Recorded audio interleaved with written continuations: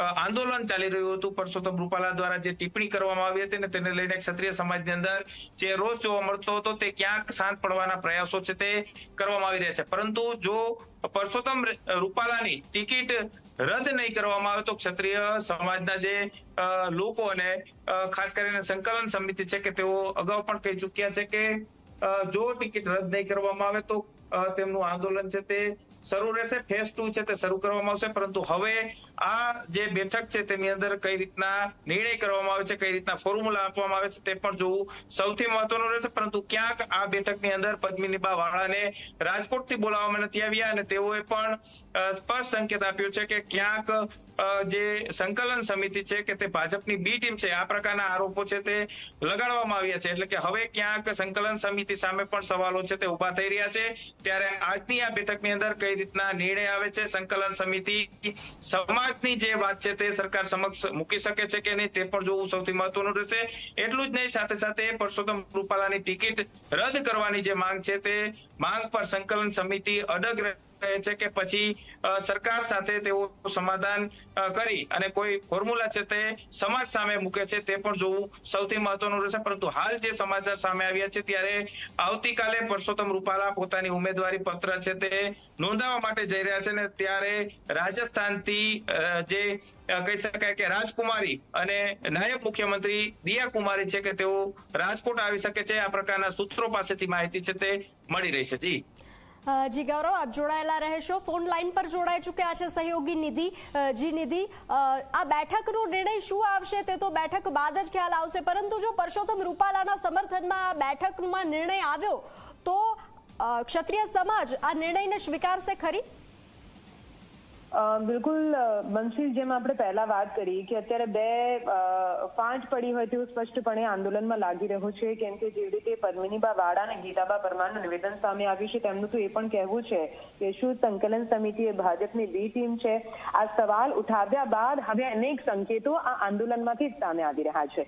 એટલે આ બેઠક જો સફળ રહે પણ છે અને ભારતીય જનતા પાર્ટી અને પરસોત્તમ રૂપાલા જેમનું જીવ આટલા સમયથી ઊંચો થયેલો છે, તેમની ટિકિટને લઈને તેમને જો રાહત મળે છે અને કોઈ સમર્થનમાં નિર્ણય આવે પણ છે છતાં પણ શું ક્ષત્રિય સમાજની જે પણ ક્ષત્રાણીઓ છે, તે તે ડિસિઝનને અથવા તે તે જે પણ નિર્ણય આવે છે, તેને સ્વીકારે છે કે નહીં? તેને લઈને ઘણા સવાલો ઉઠે છે, કેમ કે ક્ષત્રિય આંદોલનમાં જે વાત કહેવામાં આવી હતી કે અત્યાર સુધી જે હતું તો પાર્ટ વન હતો, હજુ તો આનાથી વધારે વધારે વિરોધ કરવામાં આવશે અને ગમે તેમ કરીને પરસોત્તમ રૂપાલાની ટિકિટ રદ કરાવવામાં આવશે, ત્યાં સુધી કે ત્યાં શપથ પણ લેવામાં આવી હતી કે જો પરસોત્તમ રૂપાલાની ટિકિટ રદ કરવામાં નથી આવતી, તો તમામે તમામ ક્ષત્રિય સ્ત્રીઓ ભાજપની વિરુદ્ધમાં મતદાન કરશે. આ પ્રકારના શપથ પણ એ જ જમીન, એ જ મંચ પરથી, એ ધરા પરથી લેવામાં આવ્યા હતા. એટલે રતન પરનું જે રણ સંગ્રામ હતું, ત્યાંથી જે પણ વાત, જે પણ મુદ્દાઓ સામે આવ્યા, તે મુદ્દાઓ એટલા ભયાનક ભારતીય જનતા પાર્ટી માટે બની ચૂક્યા છે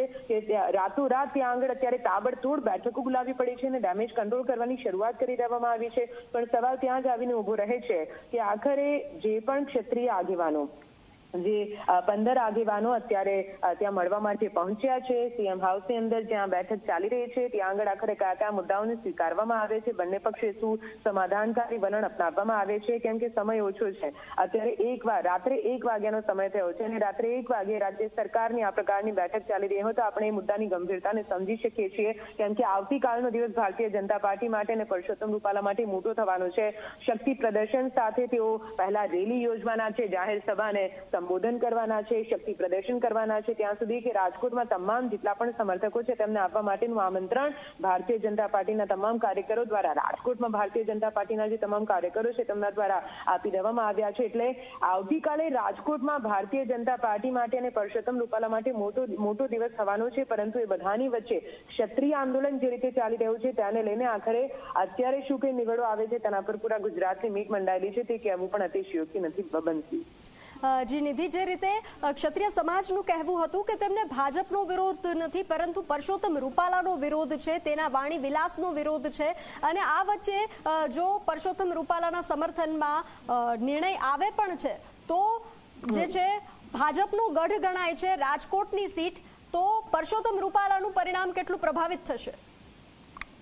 એ વાત આપણે સમજવી પડશે. ભારતીય જનતા પાર્ટી જે રીતે પૂરા કોન્ફિડન્સ સાથે કહી રહી છે કે અમે માત્ર જીતીશું નહીં, છવ્વીસ બેઠકો પર પાંચ લાખની લીડ દરેક બેઠક પર જીત મેળવવાની છે અને જે પ્રકારે લાંબા સમયથી આંદોલન ચાલી રહ્યું છે લાંબા સમયથી આ જ પ્રકારની માંગ કરવામાં આવી છે. છતાં પણ ભારતીય જનતા પાર્ટીની અંદર એક પાંખડી પણ નથી હલી તે ઉપરથી આપણે અંદાજો લગાવી શકીએ છીએ કે ભારતીય જનતા પાર્ટી કેટલા વિશ્વાસ સાથે આગળ વધી રહી છે. પરંતુ આપણે જોયું કે જે રીતે રતન પરના રણ સંગ્રામમાં ક્ષત્રિયોની તાકાતનો જે પરચો ત્યાંથી મળ્યો છે અને ત્યાંથી જે આક્રોશ સામે આવ્યો છે, તેને લઈને કદાચ થોડી ગંભીરતા અને બની શકે છે કે હાઈકમાન્ડ તરફથી પણ કોઈક એવો ઓર્ડર મળ્યો હોઈ શકે છે, જેના કારણે રાજ્ય સરકાર હવે એકદમ હરકતમાં આવી ગઈ છે અને પૂરું ડેમેજ કંટ્રોલ કરવાનો પ્રયત્ન કરવામાં આવી રહ્યો છે. પરંતુ પરસોત્તમ રૂપાલા ભલે ક્ષત્રિય આગેવાનો દ્વારા સતત એવું કહેવામાં આવ્યું છે, ક્ષત્રાણીઓ દ્વારા સતત એવું કહેવામાં આવ્યું છે કે ભારતીય જનતા પાર્ટીનો કોઈ વિરોધ નથી. પરસોત્તમ રૂપાલાનો અમે વિરોધ કરી રહ્યા છીએ. પરસોત્તમ રૂપાલાની ટિકિટ રદ થાય તે જરૂરી છે, કેમ કે તેમણે ક્ષત્રાણીઓની અસ્મિતા અને તેમની બહેન દીકરીઓ માટે જે શબ્દોનો ઉપયોગ કર્યો હતો, જે વાણી વિલાસ કર્યો હતો, તેનો વિરોધ કરવામાં આવી રહ્યો છે પરંતુ એ વાત પહેલાની હતી.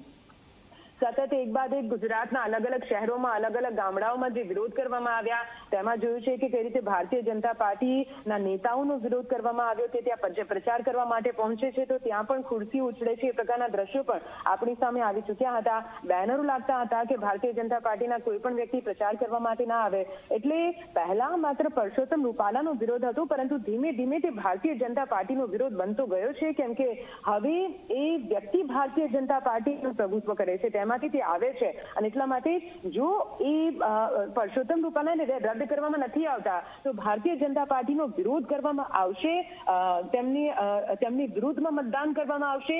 તે વાત પણ ક્ષત્રિયોનું જ્યાં મહાસંમેલનનું આયોજન કરવામાં આવ્યું હતું, એ મંચ પરથી કરી દેવામાં આવી હતી. ધરા પરથી એ વાત સામે આવી ચૂકી હતી. ત્યાંથી એ પણ કહેવામાં આવ્યું હતું કે જો પરસોત્તમ રૂપાલાની ટિકિટ રદ કરવામાં નહીં આવે, તો માત્ર રાજકોટ બેઠક પર વિરોધમાં મતદાન નહીં, પરંતુ પૂરા ગુજરાતમાં વિરોધમાં મતદાન.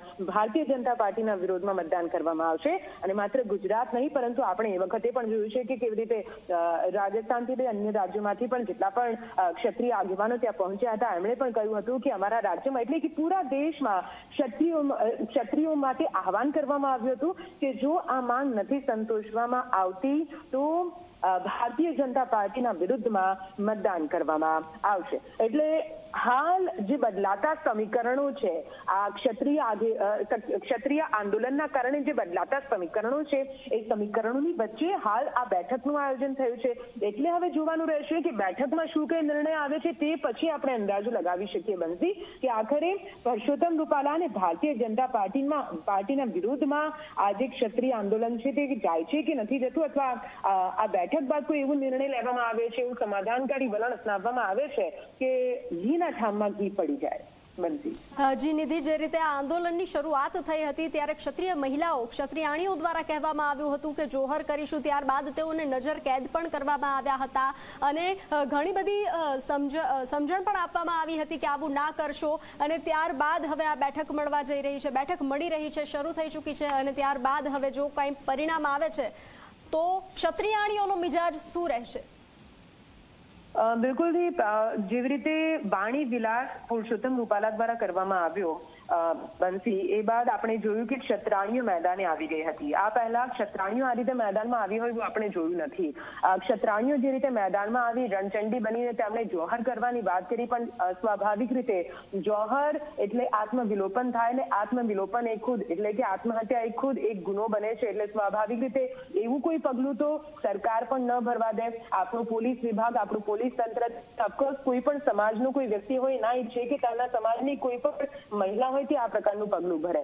પણ આપણે એ વાત સમજવી પડશે કે જ્યારે કોઈ મહિલાની અસ્મિતા પર આવે છે, ત્યારે એ મહિલા જોહર કરતા પણ અચકાતી નથી. ત્યાં સુધી કે ચાર જેટલી મહિલાઓ જે જોહર કરવા માટે પહોંચી હતી, જે ક્ષત્રાણીઓ જોહર કરવા માટે પહોંચી હતી, તેમને ત્યાંથી જેમ તેમ કરીને, નજર કેદ કરીને કે પછી ત્યાં આગળથી તેમને પહોંચવા ના દીધા, ગમે તેમ કરીને તેમને ત્યાંથી વાળી દેવામાં આવ્યા. અને તે બાદ પણ જેટલા પણ ક્ષત્રિય આગેવાનોથી લઈને ક્ષત્રિય સમાજના જે પણ મોટા માથાઓ હતા, તેમણે સતત અપીલ કરી છે કે તમારા લોકોને ક્ષત્રાણીઓએ જોહર કરવાની જરૂર નથી. તમારા ભાઈઓ હજુ જીવિત છે જીવન છે. અમે તમારા આંદોલનને આગળ ધપાવીશું અને એ બાદ એક બાદ એક જે આંદોલન આપને અટકાવવા માંગીશ. આપણી સાથે પ્રજ્ઞાબા જોડાઈ ચૂક્યા છે. જે પ્રજ્ઞાબા જે રીતે બેઠકની શરૂઆત થઈ ચૂકી છે